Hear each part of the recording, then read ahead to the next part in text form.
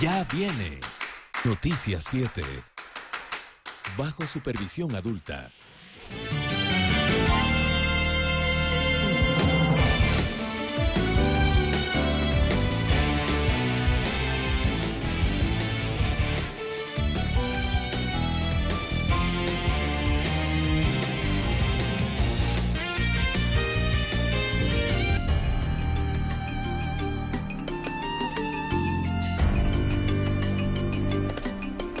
14 horas con un minuto, una hora menos en Galápagos, amigas y amigos, y les informamos desde la ciudad de Montecristi, la tierra del viejo luchador, sobre cómo se recupera tanto la provincia de Manabí como el sur de Esmeraldas. Pero antes les comentamos que esta mañana un vuelo de la compañía TAME que cubría la ruta Quito-Cuenca sufrió un percance al, al aterrizar en el aeropuerto Mariscal La Mar de la capital Azuaya. La aeronave se salió de la pista y quedó a pocos metros de una transitada avenida. Veamos.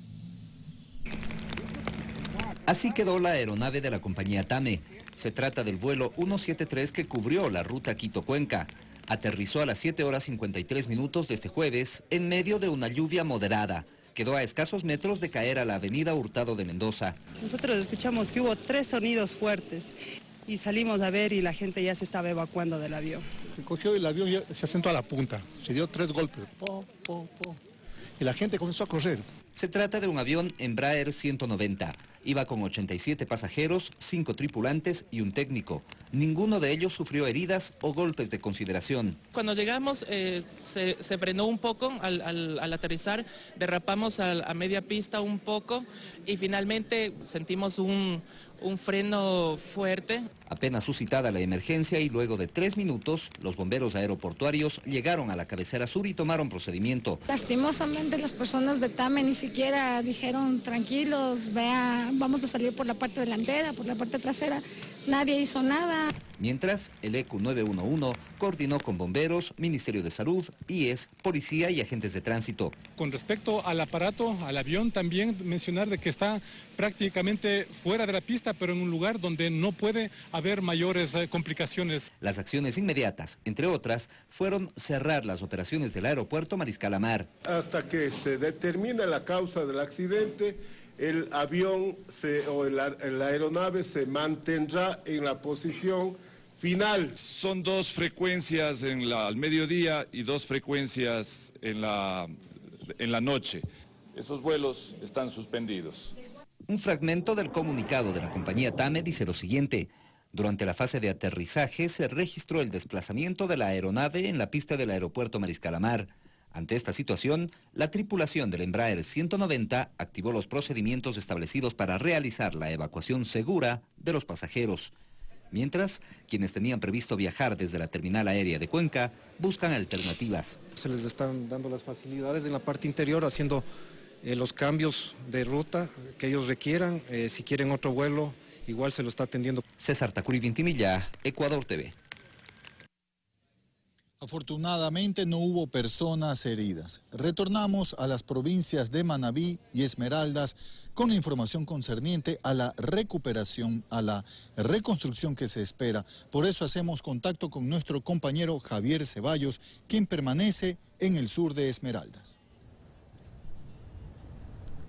Mi querido Gustavo, gracias por el paso. Nosotros seguimos informando, esta señal informativa sigue aquí en la provincia de Esmeraldas. Nos encontramos en el balneario de Atacames, que sin duda alguna es un referente turístico pa para la provincia verde y sin duda alguna también es una fuente de ingresos también para el país eh, en general, sobre todo de quienes se dedican a diario a esta actividad turística. Y justamente durante toda esta mañana hemos recorrido este balneario conjuntamente con el de Tonsupa para recoger los criterios de quienes se dedican a, a, esta actividad y quienes han expresado su preocupación debido a una baja de presencia de turistas. En el siguiente informe les presento cuáles son sus principales demandas y cuál es el llamado que hacen a toda la población ecuatoriana. Adelante con el siguiente informe.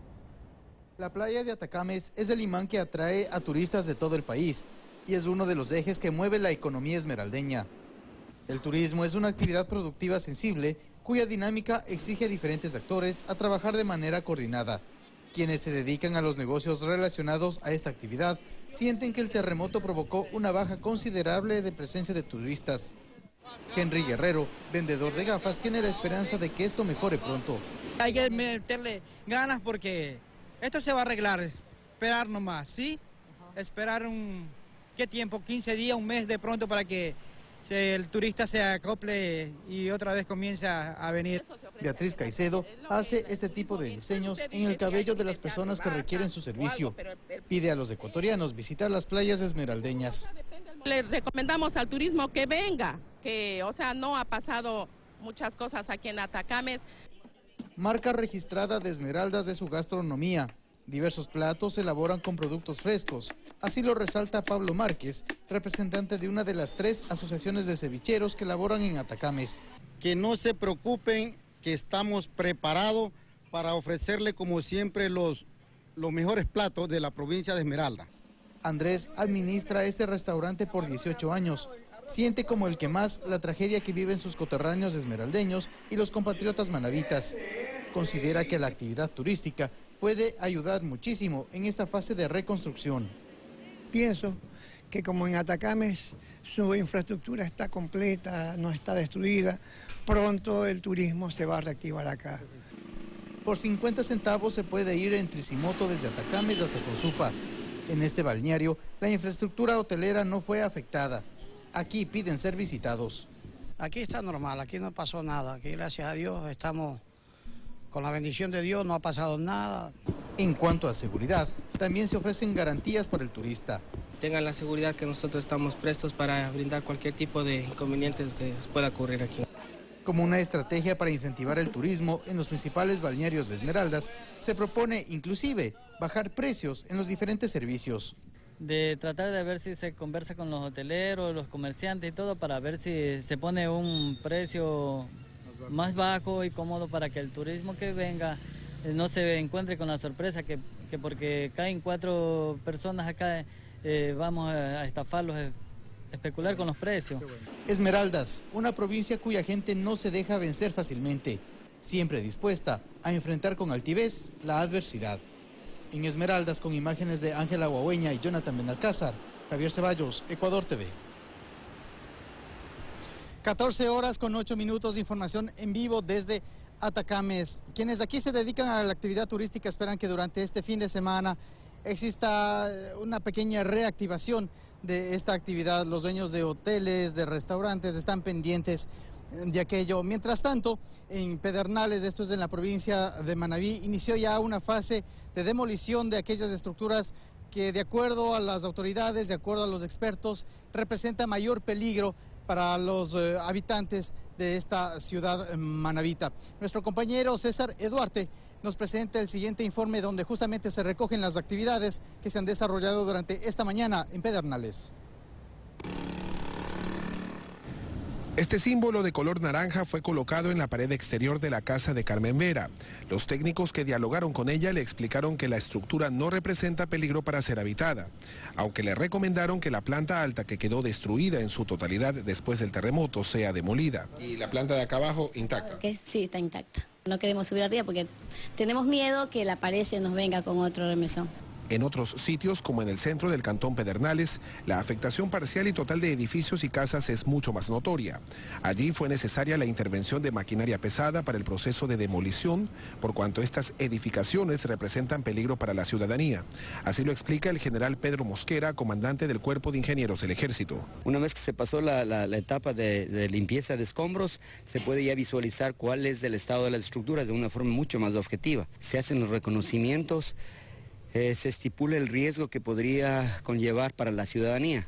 Él sostiene que hasta el momento se han identificado 24 inmuebles que presentan severos daños estructurales, pero que esa cifra podría aumentar conforme los equipos técnicos de la entidad sigan realizando nuevas inspecciones. Tiene que intervenir la fiscalía, el propio municipio, gestión de riesgos, una vez que ellos nos han dado eh, legalmente, si cabe el término, estos protocolos, procede nuestro personal a, hacer eh, los trabajos. Además de las evaluaciones que hace el Cuerpo de Ingenieros del Ejército, un equipo de expertos ingleses en ingeniería estructural hacen verificaciones del estado de las estructuras existentes en Pedernales. El viceministro de Seguridad Interna, Diego Fuentes, explica que la demolición representa solo una primera fase. Estamos haciendo el catastro con el Cuerpo de Ingenieros del Ejército, con las Fuerzas Armadas y la Secretaría de Riesgos y comenzaremos la siguiente fase una vez de que en esta semana, el transcurso de esta semana, hayamos agotado todos los esfuerzos para poder verificar y garantizar de que no exista ninguna persona que podría estar atrapada. La Secretaría de Gestión de Riesgos ha receptado hasta el momento más de 50 solicitudes de demolición voluntaria por inmuebles colapsados. Con imágenes de Mario Crespo y Carlos Burgos, César Eduarte, Ecuador TV. Gracias a todos ustedes. Yo me despido desde Atacames. Nos, volveremos a encontrar, perdón, con todos ustedes a las 19 horas, justamente con más eh, novedades que se generen aquí en la provincia de Esmeraldas y sobre todo acá en la parte de los balnearios. Gustavo, tú sigues con más, eh, eh, presentando más noticias desde Montecristi, Banaví. Adelante, Gustavo. Gracias. Gracias a Javier Ceballos, 14 horas con 11 minutos y seguimos informando desde Montecristi. Desde aquí vamos a ver cómo varios pacientes, personas que resultaron heridas durante el terremoto, fueron trasladadas a los hospitales de IES, tanto de Esmeraldas, de Guayas y otras provincias. Veamos cómo una paciente portovejense se recuperó en el hospital de IES del cantón Eloy Alfaro Durán. Bueno, luego tendremos lista esa información. Vamos a ver cómo muy cerca de aquí, en la ciudad eh, de Manta, el aeropuerto Eloy Alfaro, ya se reactivaron los vuelos desde el lunes 25 pasado. Tanto Avianca como Tame retomaron sus itinerarios. Desde el lunes 25 de abril, con una terminal aérea con capacidad para 150 pasajeros, se atiende la demanda de vuelos para la ruta Quito-Manta-Quito TAME cubrirá dicha ruta en los siguientes itinerarios. En la mañana de lunes a viernes, Quito-Manta 7 horas, Manta-Quito 8 horas con 50 minutos. En la noche de lunes a viernes, Quito-Manta 18 horas, Manta-Quito 19 horas con 50 minutos. Sábado, Quito-Manta al mediodía, Manta-Quito 13 horas con 50 minutos. Domingo, Quito-Manta 18 horas, Manta Quito 19 horas con 50 minutos. Hasta el domingo 24 de abril, la base aérea Manavita solo estuvo destinada como vía de abastecimiento y socorro de las poblaciones afectadas por el terremoto y la evacuación de heridos hacia Quito y Guayaquil. Gustavo Espinosa, Ecuador TV. Ahora revisamos un informe de nuestro compañero Eduardo Córdoba desde la ciudad de Portoviejo, capital manavita, porque se suman los embajadores que vienen a visitar, a observar directamente las afectaciones del terremoto. Esta vez llegaron de la Unión Europea. Eduardo. Gracias, gracias compañeros. En efecto, nosotros eh, informamos eh, sobre la visita de un eh, grupo de embajadores de la Unión Europea que han llegado al Ecuador para ofrecer su contingente de ayuda a propósito de este terremoto que sufriera el país, sobre todo las costas de Manabí y del sur de Esmeraldas.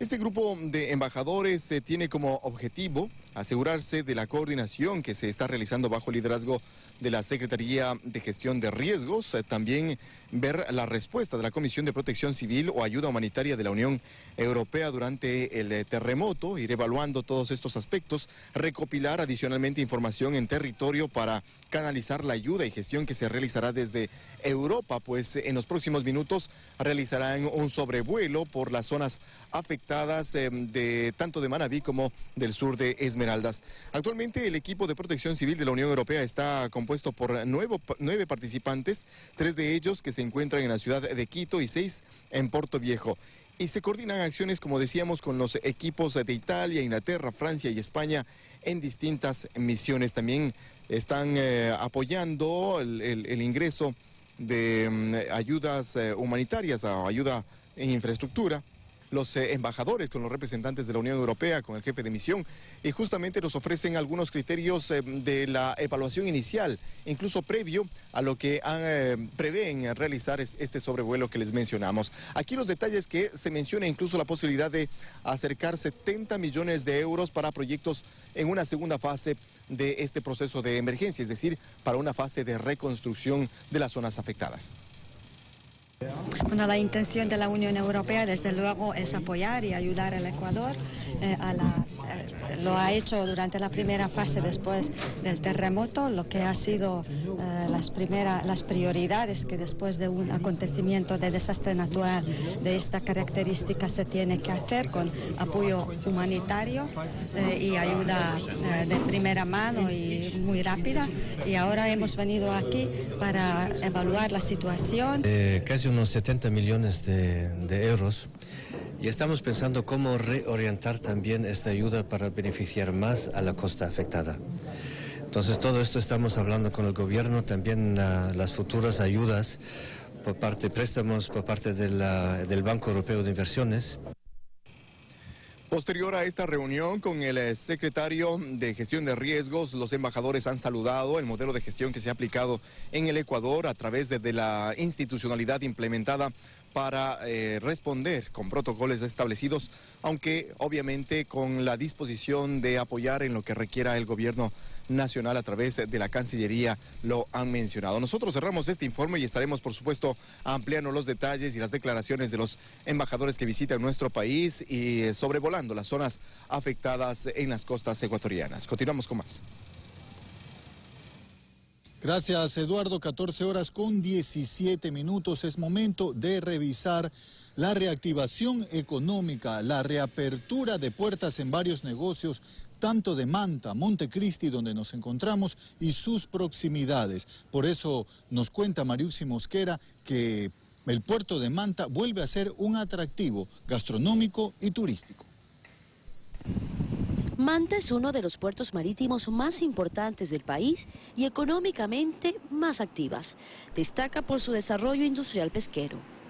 Jorge Espinosa tiene uno de los 20 restaurantes ubicados en el malecón escénico de Manta. Diez años le ha dedicado a su negocio, con lo que ha podido mantener a toda su familia. Pese a los daños que en la cocina ocasionó el terremoto, atiende a su clientela con una variedad de platos de la gastronomía manavita. No, sufrimos un momento muy difícil que tuvimos que pasar con nuestros clientes aquí, tratando de apaciguarlos, tranquilizarlos. Y bueno, eh, ya pasó, pues ya este momento estamos saliendo adelante con nuestros negocios, estamos trabajando normalmente, atendiendo, igual estamos eh, atendiendo hasta las 22 horas. E invitamos a todos los manavitas y todo el territorio nacional que vengan a Manta, o sea, a disfrutar acá Manta, a ver cómo está Manta. De verdad, de verdad, Manta es una ciudad muy hermosa. Ciudadanos que vengan a, disfrutar de la gastronomía manavita aquí en Manta. El famoso ceviche marinero, el famoso camotillo, el famoso ceviches que son lo más rico del mar. El turismo es otro eje importante en el desarrollo de Manta. Desde otras provincias y otros países llegan a las hermosas playas del Murciélago y Tarqui. Aquí eh, las playas manavitas son lindas, entonces pese al, problema que hubo, eh, no dejen de, venir a disfrutar y apoyar aquí al pueblo manavita.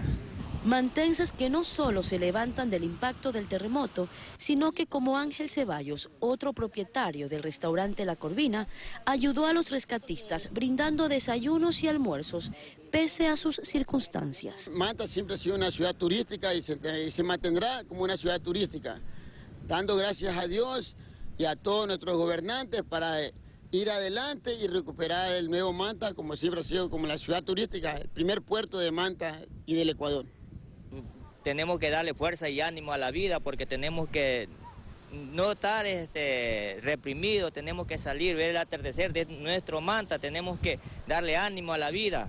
Manta, conocida como el primer puerto atunero del mundo, sigue de pie, esperando a todos de la forma que mejor sabe hacerlo, con sus mágicos atardeceres.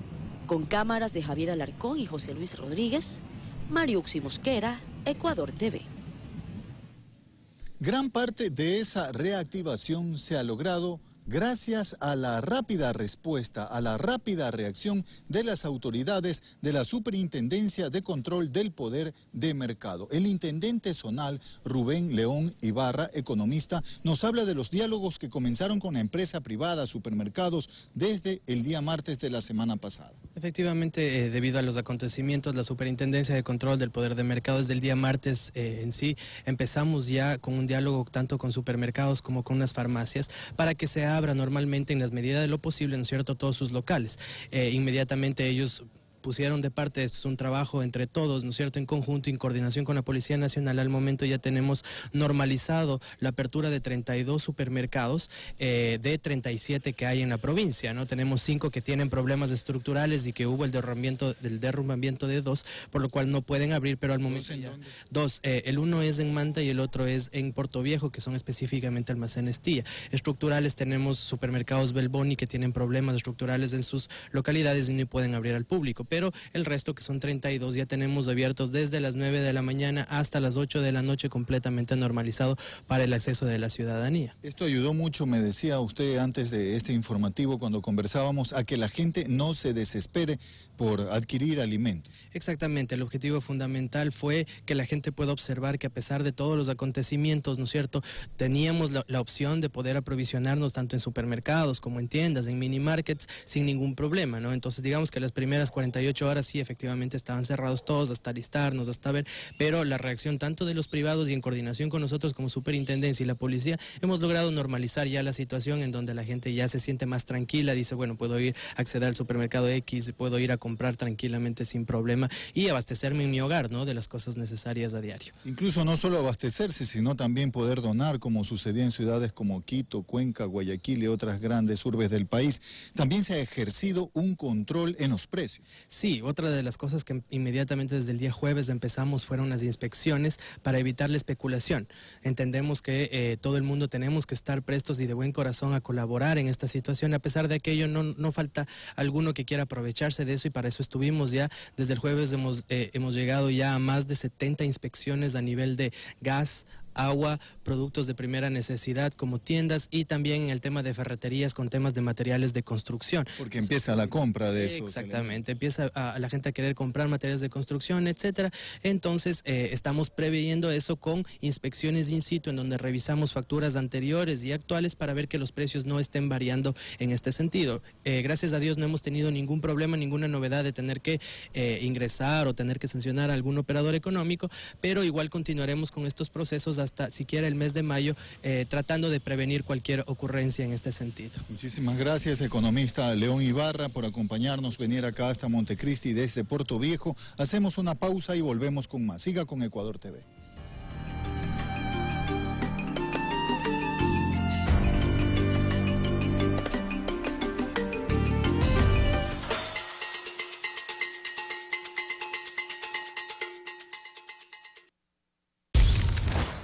Nombre es Tanis Brown. Estaba muy feliz de estar embarazada de mi primer hijo, pero luego fui víctima de una misteriosa enfermedad que nadie podía diagnosticar. Solo una cosa era inevitable al final de mi historia. Justo al final. ¿Viviré? ¿Lo lograré? ¿O moriré?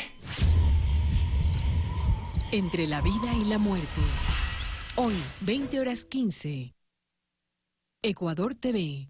Somos todos. Vi la sede a la tentación. ¡Vila! ¡Vila! ¿Ocurrió algo, Jacob? Raquel, Raquel, mi hijo está naciendo. Y Raquel lucha por la vida de su hijo. Está perdiendo mucha sangre. No sé qué hacer para detenerla. Pero tendrá que pagar un precio muy alto. Sueños de Egipto. Hoy, 19 horas 30. Ecuador TV, somos todos.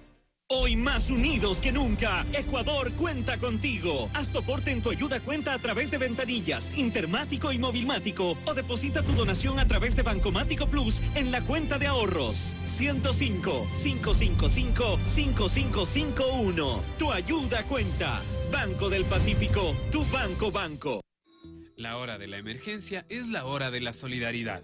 Ayudemos a nuestros compatriotas afectados. Su donación es muy importante. ¿Qué donar? Alimentos no perecibles, enlatados, granos secos, arroz, aceite, azúcar, fideos, galletas y barras energéticas, botellones de agua y bebidas hidratantes, carpas, frazadas, toldos o mosquiteros, repelentes, caducidad mínima de tres meses. ¿Dónde donar?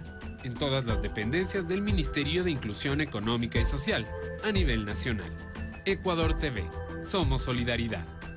Toda la información sobre esta emergencia conócela en www.ecuadorlistoysolidario.com o para donaciones llama al 1-800-002-002.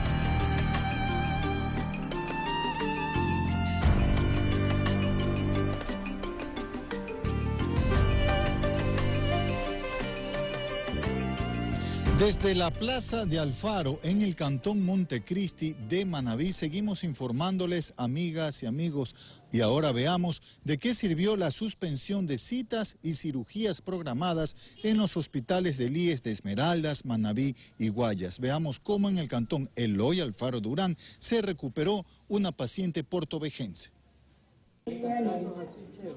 Acude a sus controles regulares, pues aún siente dolor en algunas partes de su cuerpo. Gladys Macías, de 29 años, trabajaba en una farmacia junto al Hotel El Gato de Puerto Viejo. Ella es una de las sobrevivientes del terremoto que sacudió a Manabí el pasado 16 de abril. De un momento a otro sentimos que todo nos cayó encima. Que no nos deja que nos aplaste completamente fue los, los congeladores, las neveras que estaban en ese momento ahí.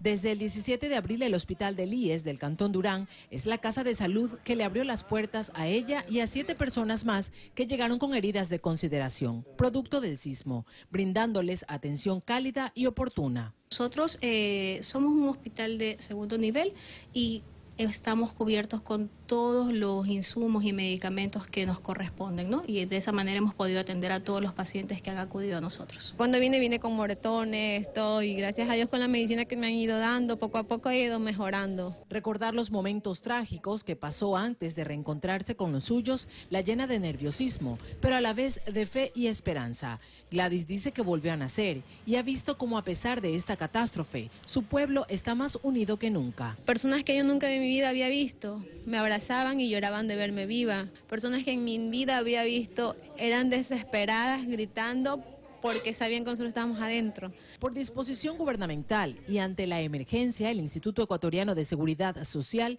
suspendió citas médicas y cirugías programadas en las provincias de Guayas, Manabí y Esmeraldas, a fin de dar los cuidados necesarios de salud a afiliados y no afiliados afectados por el desastre. Guadalupe Ayoví, Ecuador TV. El Ministerio Coordinador de Desarrollo Social está a cargo de encaminar, de distribuir toda esa lluvia de donaciones humanitarias que llegan desde el exterior y desde algunos rincones de nuestra patria. Veamos cómo. Canadá suma 900 mil dólares más en donaciones para apoyar a las zonas más afectadas tras el terremoto.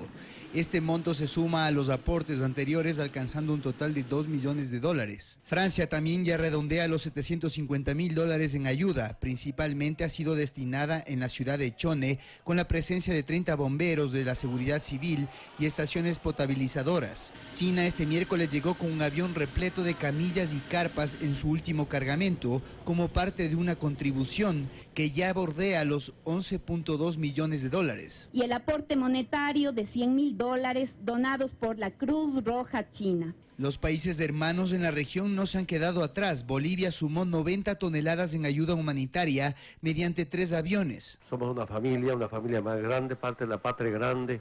Perú de igual manera, 318 toneladas en asistencia médica, además de un hospital itinerante con 30 especialistas. Sí podemos unir fuerzas para enfrentar esto y, y salir adelante. A nivel del máximo organismo mundial, la ONU inicialmente se aseguró una importante suma. Aporte de 73 millones de dólares. Todos estos suministros, alimentos, apoyo humano son organizados por el Ministerio Coordinador de Desarrollo Social y sus carteras subordinadas mediante la instalación de albergues, así como llegar con las raciones adecuadas hasta los puntos más alejados del litoral. En el caso de Manta, alrededor de siete albergues dos ya albergues adicionales como Ministerio de Inclusión Económica y Social.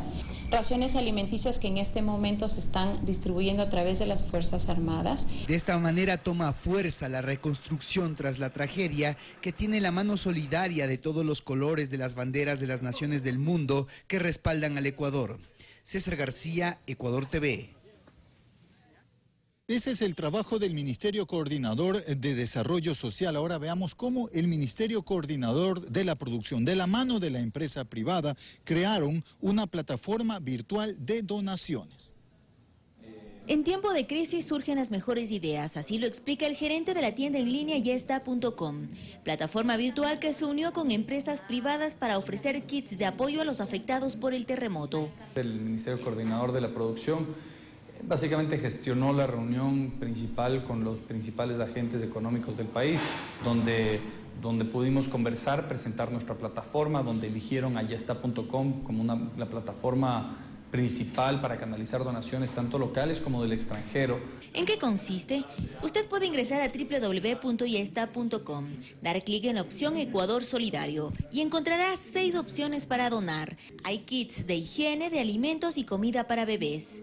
Por ejemplo, si escogemos un kit de alimentos para una familia promedio de cuatro integrantes para tres días, vamos a pagar 15 dólares con 25 centavos. Usted estaría donando un kit que contiene aceite, azúcar, arroz, avena, fideo, atún, sardina, leche en polvo y sal. Agregamos al carrito de la compra virtual, damos clic en pagar, registramos nuestros datos, pagamos con tarjeta o transacción y su donación está lista. La puede realizar dentro o fuera del país. Obviamente con cero costos, cero recargo, cero utilidad. Eh, cero fin de lucro. Estas donaciones son mucho más eficientes porque básicamente las empresas privadas que están participando canalizan las necesidades que a su vez le canaliza el MIES, el COE, el 911 o la Cruz Roja. Diners y Fibeca son empresas que apoyan esta iniciativa. Sus representantes explican la importancia del trabajo conjunto entre entidades públicas y privadas en beneficio del país. Estamos aportando a que haya un menor costo en los kits, que eh, no, no se recargue a las personas que quieren apoyar y que se dé una colaboración efectiva. La idea es todos seguir unidos para ir acompañando en, este, en esta reconstrucción de, de, la provincia de Manabí y de Esmeraldas también. Los fundadores de este portal virtual que tiene más de dos años de funcionamiento se encargarán de transparentar las donaciones entregadas periódicamente. Olga Velasco, Ecuador TV. La banca pública ecuatoriana apoyará a los gobiernos autónomos descentralizados de Manabí y la provincia de Esmeraldas para la reconstrucción de las zonas afectadas. Ese es el compromiso que asumió el Banco de Desarrollo del Ecuador. Vamos a proceder a las deudas dando periodos de gracia importantes para el pago de capital. Su titular, Verónica Gadardo, quien compareció ante la Comisión de Régimen Económico de la Asamblea, dio a conocer que la entidad cuenta con los recursos para que los gobiernos autónomos descentralizados rehabiliten sobre todo los servicios básicos. El camino es buscar recursos en condiciones flexibles y eh, en tiempos también muy flexibles. Por ahora, mencionó, se trabaja en las condiciones de financiamiento a futuro, haciendo un llamado a las autoridades locales para que faciliten la información de los proyectos prioritarios. A través de una videoconferencia, el gerente de Seguro Sucre confirmó que varios bienes de propiedad del Estado están cubiertos con pólizas de seguro y reaseguro. Por ejemplo, está CNT, por ejemplo, está Banco del Pacífico. Me parece que CENEL tiene algunas instalaciones también en la zona de Manaví eh, que han sido afectadas. José Luis Romo mencionó que las pérdidas en cuanto a bienes asegurados de manera global oscilarían entre 500 y 800 millones de dólares. En todos no hay ninguna excepción en donde los reaseguros estén perfectamente colocados y protegiendo los activos del Estado sobre la creación de una subcuenta donde se acumulen los recursos destinados a la reconstrucción de las provincias costeras. El presidente de la comisión aseguró que se podría incluir un acápite en el articulado. El proyecto prevé un artículo en el que hay mecanismos de transparencia, de tal manera que veremos si es o no pertinente establecer además estos temas más operativos. En tanto que del lado de la oposición es imperante que sobre la utilización de esos fondos exista un permanente control. Mí me interesa que la Contraloría esté atrás y respirándoles en la nuca a los que adjudican los contratos. Alexis Moncayo, Ecuador TV. 14 horas con 34 minutos. A través de su cuenta personal de Twitter, el presidente Rafael Correa se refirió a la propuesta de sectores políticos de oposición de crear un fideicomiso para la administración de los recursos económicos para los afectados por el terremoto. Es increíble cómo la manipulación mediática y la politiquería de los grupos de siempre pretenden hacernos desear lo que nos destruyó. Se olvidaron ya que todos los banqueros pusieron sus bienes en fideicomisos para que no puedan ser tocados. Nos llevó años desbaratar todo aquello. Se olvidaron ya que nuestra oligarquía saca su plata de Ecuador a fideicomisos en paraísos fiscales para ocultar sus jugadas financieras y eludir impuestos. Fideicomiso es crear artificialmente una figura jurídica privada. Ahora quieren privatizar hasta los impuestos, lo cual es un absurdo, además de inconstitucional. Es la estrategia de inventarse cualquier cantinflada para impedirnos gobernar. Con su dinero pueden hacer los fideicomisos que quieran. Es legal, aunque a veces inmoral, pero no con el dinero público. Los que quebraron y saquearon al país fueron ellos y sus recetas, no nosotros. Prohibido olvidar. Por concepto de siniestros en las provincias de Esmeraldas y Manabí, 26 empresas aseguradoras presentaron informes sobre un estimado de reclamos. La Superintendencia de Compañías, Valores y Seguros ha dispuesto que las aseguradoras presenten un detalle de los siniestros reportados con relación a la catástrofe en Manabí y Esmeraldas. Y a la fecha ya aproximadamente un número de 26 compañías de seguros nos han enviado la información.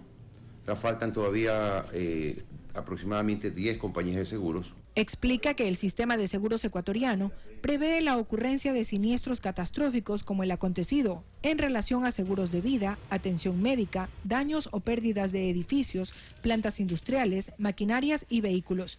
Aunque en Ecuador no existe una cultura de establecer este tipo de pólizas, ya se estima una cifra para costear los reclamos. Y los riesgos cubiertos ascienden a 4 mil millones aproximadamente.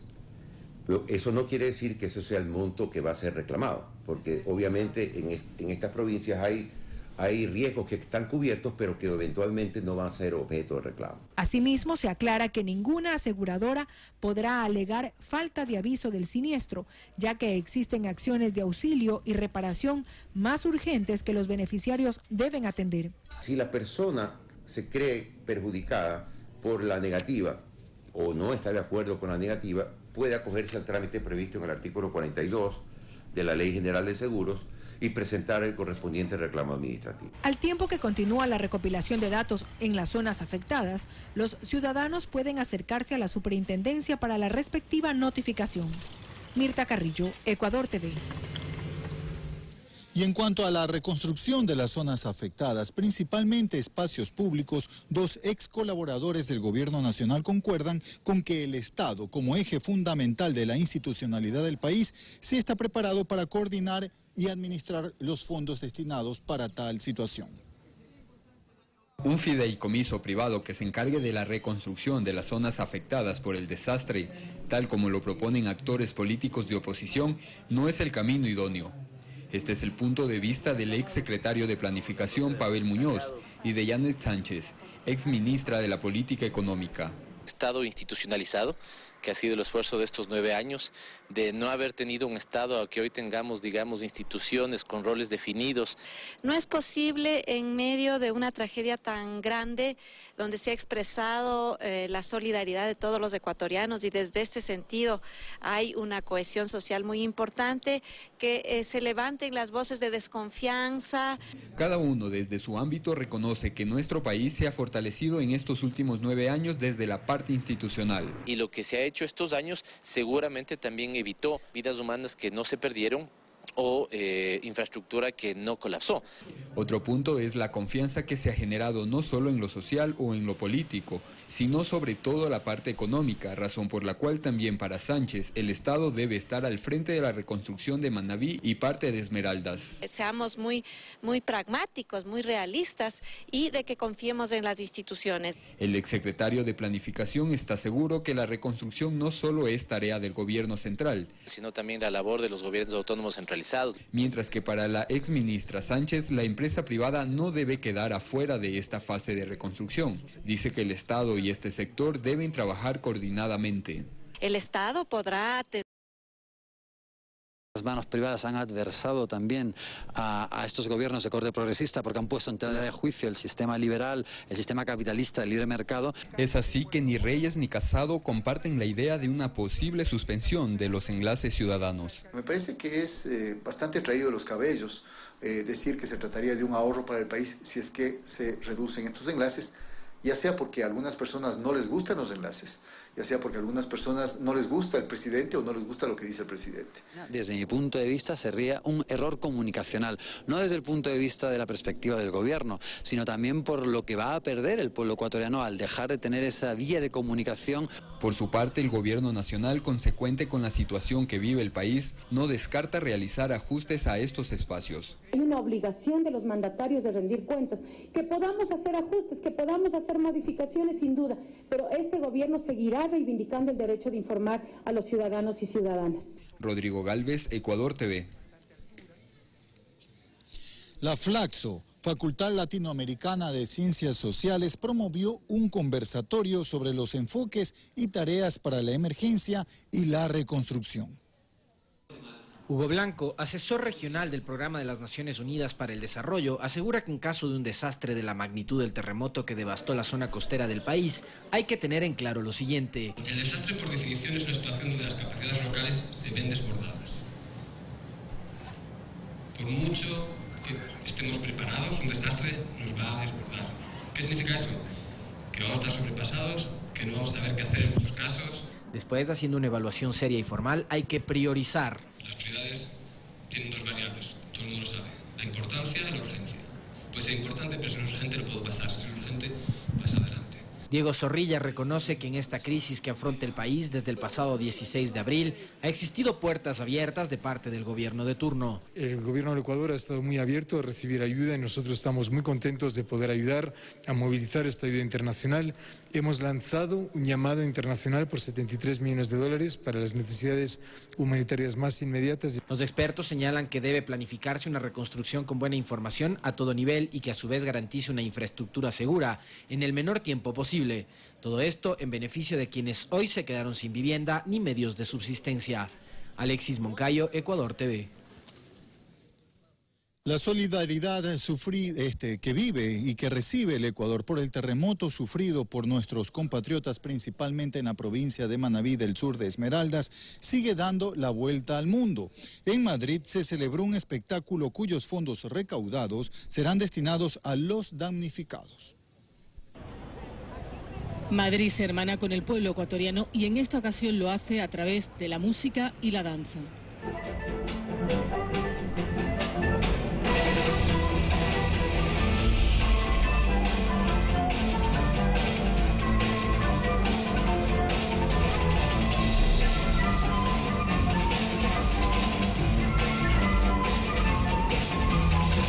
Nacidos para bailar, un espectáculo de los vivancos que ha recorrido medio mundo y que se estrena en la capital de España. Los beneficios de esta función irán destinados a las víctimas del terremoto de Ecuador. A raíz de, los tremendos terremotos que, ha habido en Ecuador hemos querido hacer una actuación eh, solidaria para, apoyar a, los ciudadanos de allí y, estamos la verdad que muy agradecidos de la respuesta que, ha dado el público, las instituciones, las autoridades, eh, todos se han sumado y la verdad que, estamos muy contentos. Una cita a la que no han querido faltar representantes del gobierno de Ecuador. Tenemos un, halo de tristeza muy grande que nos ha invadido. Eh, tenemos una pérdida aproximada de 3 mil millones de dólares, que es muy alto para el presupuesto ecuatoriano. Y con todo eso una enorme gana de salir adelante. Hemos venido aquí a agradecer a estos artistas, a los vivancos, por lo que están haciendo por nuestro pueblo, que hoy día tanto necesita.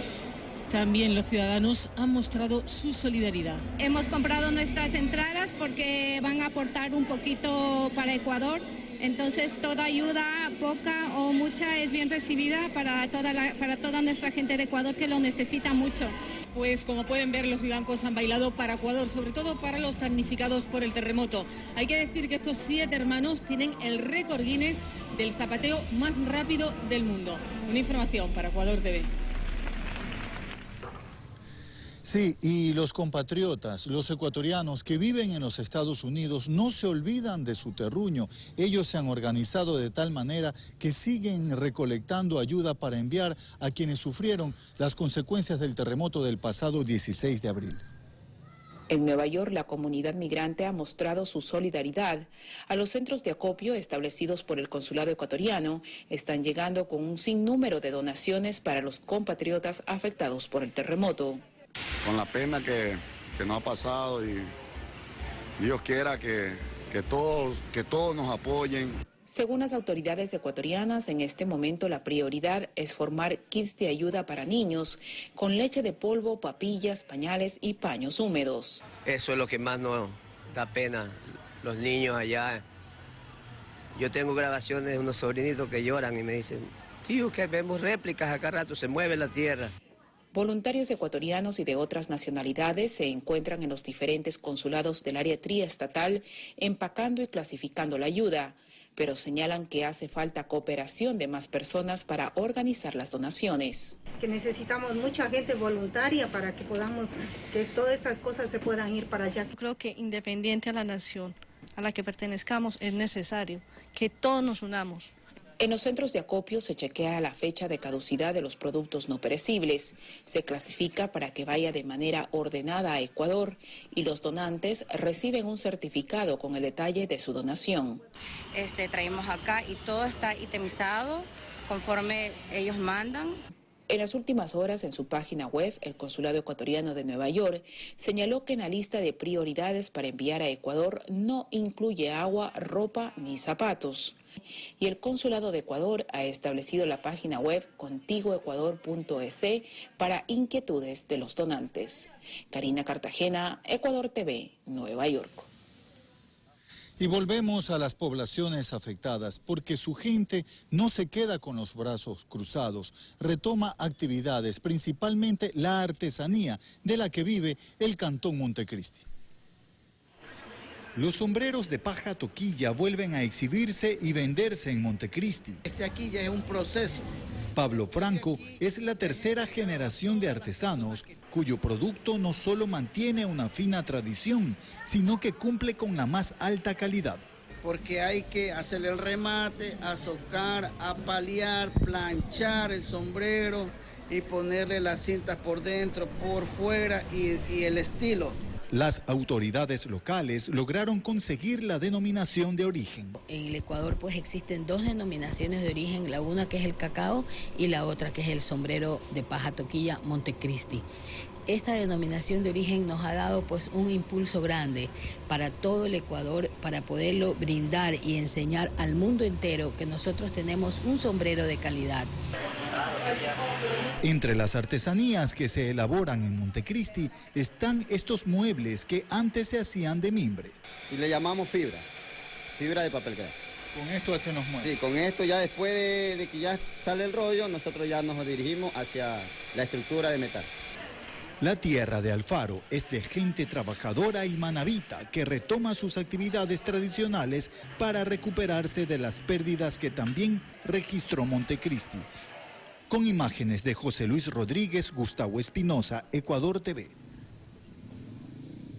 Así se engrana y se forma una recuperación de la actividad económica en el cantón Montecristi de la provincia de Manabí. Bazares, tiendas, almacenes y una serie de negocios reabren sus puertas.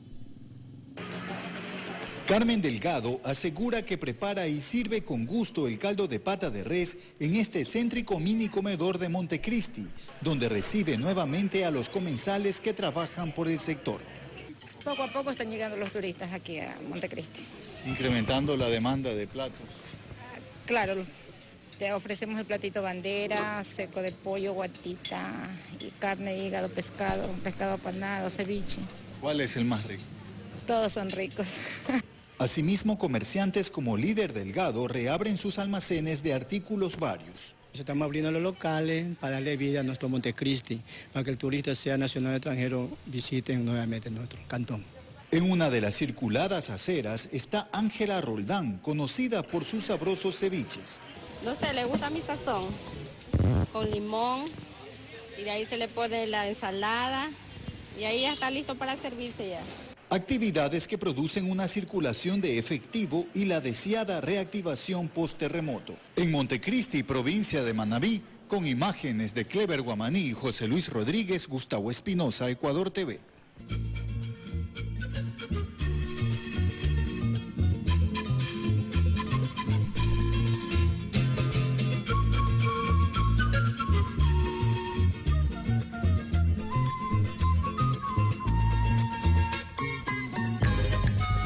Y los pobladores del Cantón Baños en la provincia de Tunguragua son un ejemplo para salir adelante de gente pujante. Sus gente, sus habitantes conviven ya con el volcán Tunguragua hace 17 años y no dejan de ser un atractivo turístico y de aventura. Uno de los lugares que recibe a miles de turistas en el Ecuador es el Cantón Baños en la provincia de Tungurahua. La generosidad de su gente y la bondad de su clima hace de este lugar un paraíso para los turistas nacionales y extranjeros. Aquí su gente emprendedora impulsó el turismo de aventura, así lo manifiesta Luis Chimbo. Tenemos un lindo panorama eh, y la gente viene mucho a Baños por, por estos deportes. La geografía de sus diversas parroquias como Río Blanco y Río Verde forman hermosas cascadas que enamoran a propios y extraños. Y además de los paseos en Taravita. Estamos trabajando todos y dispuestos a, a servirles en, en, todas las actividades que, que ellos uh, siempre demandan. Aquí pueden practicar los deportes como el canopy, rafting o el más concurrido, el salto del puente. Todos son bienvenidos, invitados a Cabaños de Agua Santa a que hagan todas esas, estas actividades. Baños es muestra de superación, ya que aprendieron a convivir con el proceso eruptivo del volcán Tungurahua por 17 años. Hay que recalcar que en esta ciudad no existió daño alguno por el terremoto del pasado 16 de abril. Y podemos nosotros visitar con toda la tranquilidad. Vías habilitadas, una ciudad abierta a todos los turistas nacionales y extranjeros. En Tungurahua, Máximo Barba, Ecuador TV. Gracias. Gracias a Máximo Barba, ahora de la mano de Lucy Jiménez en la norteña provincia del Carchi, vamos a conocer nuevas rutas turísticas. El Ecuador es un país megadiverso en flora, fauna y pisos climáticos. Cada una de sus provincias goza de atractivos turísticos únicos en el mundo y prueba de ello es la provincia del Carchi. En cuestión de horas pasa del característico frío de Tulcán al clima cálido de Mira, generando una gama de espacios naturales como el bosque del Polilepis, un bosque milenario con especies de entre 2 a 4 millones de años de existencia. Logramos el primer lugar como el alojamiento preferido del país, es un, un premio que designa el Ministerio de Turismo mediante votación popular, entonces algo que nos enorgullece. El bosque del Polilepis está situado en el Cantón Espejo, pero sin lugar a dudas otro de los atractivos que recibe a diario cientos de turistas es el cementerio de Tulcán, la escultura en verde declarada Patrimonio Natural del Ecuador. A 35 minutos de Tulcán está Montúfar, considerada la capital cultural del Carchi por su infraestructura patrimonial, que data de 1900. En el mismo cantón está la laguna de El Salado, un espejo de agua artificial, pero también encontramos la Gruta de la Paz, un lugar religioso que el año pasado cumplió un siglo de existencia. Tenemos las aguas termales, ¿no? Como deporte y medicinal. Tenemos las cabañas arriba en la Casa Peregrina Juan Pablo II, donde los peregrinos pueden hospedarse, ¿no? Eh, tenemos el restaurante. Pero lo que además le hace especial a la Centinela del Norte es su gastronomía. El hornado pastuso y el cumbalazo son los principales platos típicos de esta provincia. Carchi, la tierra de los pastos y quillacingas, espera a los visitantes nacionales y extranjeros con los brazos abiertos. Todos los planes que los turistas tenían para realizar hacia el Ecuador, pues no los cancelen, al contrario, necesitamos que ellos vengan a, a visitar a nuestro país. En Tulcán, Lucy Jiménez, Ecuador TV.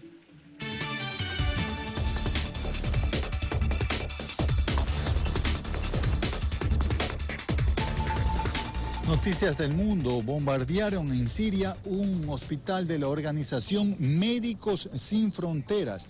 Más de 20 personas, entre niñas, niños, mujeres y médicos, fallecieron. Las Naciones Unidas calificó el hecho como un crimen de guerra más en el siguiente informe internacional. Una serie de bombardeos alcanzaron el Hospital de Médicos Sin Fronteras en la localidad de Al-Quds Alepo. El Observatorio Sirio de Derechos Humanos confirmó la muerte de 27 personas, entre ellos tres niños y cinco miembros de una misma familia. Falleció además el único pediatra que le quedaba a esta ciudad siria controlada por los rebeldes. Naciones Unidas indicó que atacar a un hospital es considerado como un crimen de guerra. Se conoce que existen personas atrapadas en los escombros. El ataque es atribuido al gobierno de Bashar al-Assad que rechazó la acusación. El presidente de Argentina, Mauricio Macri, sufre la primera derrota en su gobierno. Pese a tener mayoría en el Parlamento, este organismo aprobó una ley para frenar los despidos en el sector público, proyecto que semanas atrás fue rechazado por Macri. Los sindicatos anunciaron una movilización para este viernes y esperan que la normativa no sea vetada por el mandatario. En Venezuela se registran saqueos en establecimientos y cadenas de alimentos. El gobierno del presidente Nicolás Maduro atribuyó estos hechos a la oposición, que también estaría detrás de los incidentes por los racionamientos de energía. Maduro rechazó además el inicio de la recolección de firmas para activar un referéndum revocatorio. A través de las redes sociales, el régimen de Bolivia aseguró que no ordenó el ataque con bombas lacrimógenas a la marcha de personas con discapacidad que llegaron desde Cochabamba hasta La Paz para exigir el incremento del bono que reciben desde el Estado. El Parlamento de Austria aprobó una ley que restringe la llegada de inmigrantes y el derecho al asilo. Solo exceptúa a mujeres con niños o menores de edad sin acompañantes. Prevé incluso construir una valla en la frontera con Italia, donde existen enfrentamientos con la policía. Desciende por cuarto año la población española debido a la disminución de extranjeros. En el 2015 se redujo en 129 mil personas. Según el Instituto de Estadísticas, los romanos y los ecuatorianos son los ciudadanos que más han abandonado el país. Fanny Lara, Ecuador TV. 14 horas con 59 minutos, amigas y amigos. Gracias por acompañarnos en esta jornada informativa que transmitimos desde la Plaza de la Administración del Gobierno Autónomo Descentralizado de Montecristi. A Eloy Alfaro, el Ecuador 1842, al cumplirse su primer siglo del natalicio del general, del luchador, 1842-1942, 25 de junio.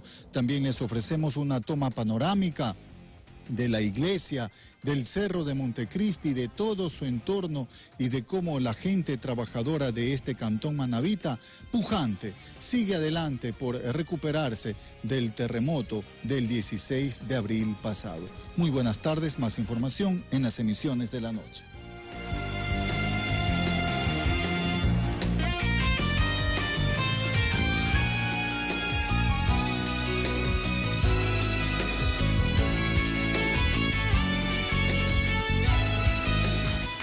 Ya viene.